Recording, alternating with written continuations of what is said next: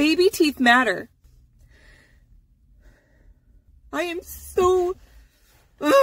The American Association of Pediatric Dentistry recommends that a child's first visit occur within six months of their first tooth coming in or by their first birthday. This is a joint recommendation of the American Academy of Pediatrics and the American Academy of Pediatric Dentistry. So why in the hell are there pediatricians telling people that they don't need to take their kid to the dentist until they're two? or three because by the time they freaking can diagnose the cavities and they send them to me, they have a mouth full of dental decay. They have to be sedated to have treatment done in the hospital and that risks that child's life and it costs the family money tons, thousands of dollars. Dental insurance is a joke. It's a discount plan. It is not going to cover more than a handful of fillings or crowns, and these families are being strapped, having to decide between groceries and getting their kid out of pain. This is not okay. And family dentists are just as bad. Parents ask when they should bring their baby in. One years old. That's the American Dental Association will tell you by 12 months of age. And they tell families, no, we don't see them at two or three. And even though they will fricking send these kids to us at age three when they have a mouthful of disease. When they finally see them,